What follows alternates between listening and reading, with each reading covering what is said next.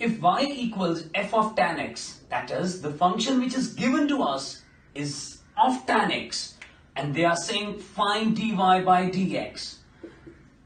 Remember this is the function of tan x and when they say find the derivative it is very simple. You simply write differentiating y with respect to x then you do the derivative of a function which is f dash since it is a function of tan x this tan x remains the same and then the derivative of tan x is secant square x. So if y is f of tan x, then derivative is f dash tan x into the derivative of tan x, which is secant square x. Remember, this is fx into tan x.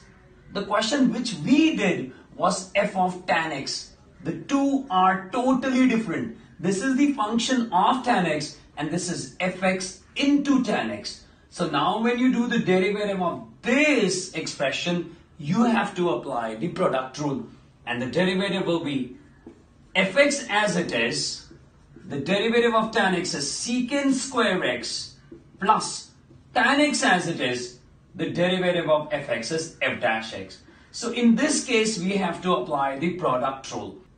And you need to know that these two are different things. This is fx into tan x and the thing which we have done previously is f of tan x. So the derivative of y equals fx tan x is fx secant square x plus f dash x into tan x which is the product rule. And the derivative of f of tan x is f dash tan x secant square x. So you need to be careful while doing the derivative